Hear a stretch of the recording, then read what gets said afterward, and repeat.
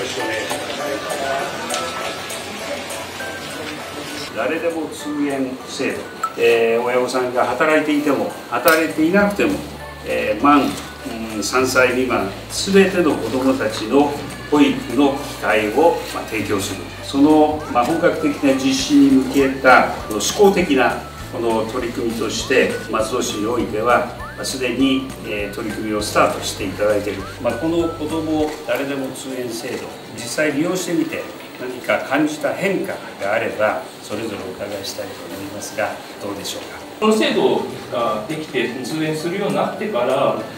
まあ、あの他のお子さんと、まあ、いろんな刺激をもらったことによって家に帰ってから少し成長を感じるなっていうのが結構多々あったので。こちらに通園させていただいてうまくおトイレに行けてるようになって。家では結構好き嫌いとかも多かったんですけどお友達とか先生と一緒に食べることで少しずつ食べられる種類とか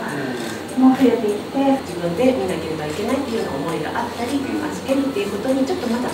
いんだろうかって思思われている保護者の方もいらっしゃる本当にあの小さい年齢のお子さんって成長が著しいんですね。丁寧に成長に合わせてやり取りをしているというところがあの工夫のところでございます。今日は皆さんに貴重なお話を聞かせていただきました。誠にありがとうございました。